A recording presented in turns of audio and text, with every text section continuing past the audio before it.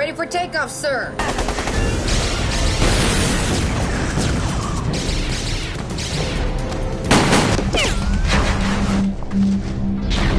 It's pretty much out of ammo anyway, so what are you gonna do about that, big boy? Dr. Hodgins, got blood. Okay, you know what? Take a sample of that. We're gonna get it to Dr. Saroyan. Can I touch you up before the shoot? TV. You're not gonna try to put anything in my eyes to make them pop, are you? Actually, could you? I'm gonna need those eyelashes back. What lashes?